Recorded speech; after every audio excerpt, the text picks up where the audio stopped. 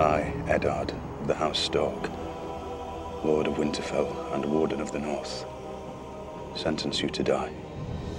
If I had to describe Game of Thrones with one word, it would be power. It's about people trying to gain power, it's about people who already have power trying to keep power, and then those caught in the middle. The Seven Kingdoms is a single realm made up of seven realms that once were independent. And the north is uh, perhaps the largest. Even in the height of summer, they get snows up there because they are so far north. Winterfell is uh, the major castle, the seat of House Stark. It's not a city or town so much as it is a, a castle, a stronghold, a fortress. You're a Stark of Winterfell. You know our words. Winter is coming. You were born in the long summer. You've never known anything else. But now winter is truly coming. Winter is coming, the Stark words, and because summers are so long in this land where we are, the winters are equally long.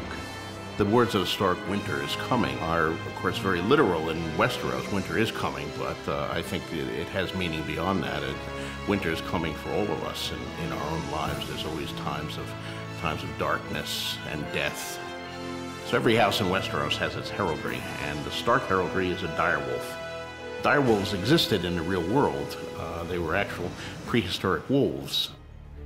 Ned Stark is um, childhood friend of the current king, Robert Baratheon. You got fat. Ned Stark is a man of honor. He's the moral heart of the story. He's a man who's always trying to do the right thing. He's fundamentally a good man. He's a man who loves his wife and he loves his children. He has a large family. He's married to Catelyn Tully Stark, Lady Stark.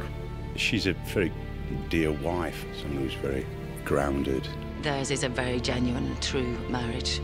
They're completely devoted to each other.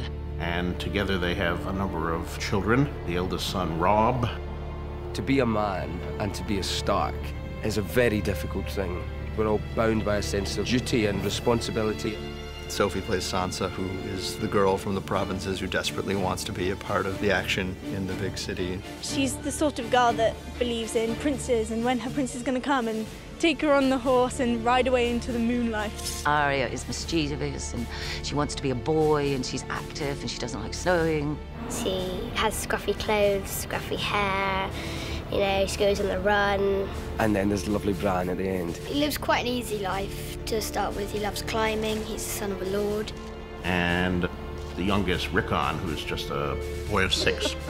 also living in his household, Jon Snow, who is a bastard, and you are a Stark. You might not have my name. But you have my blood. The strain comes when it comes to Jon's secret history. He doesn't know where he's come from, why his father did what he did. Is my mother alive? The next time we see each other, we'll talk about your mother. Ned's father and his own elder brother were, were killed by the preceding king. Ned's younger brother, uh, Benjen, is a ranger of the Night's Watch. The Night's Watch protects the realm against a band of people called the Wildlings who live beyond the wall. I'm the first ranger. Job is out there. Winter is coming. Winterfell's one of the first places that get hit by everything that comes and everything that comes with it, the weather, the supernatural elements. After the wall, it's us that guard the north, the Starks.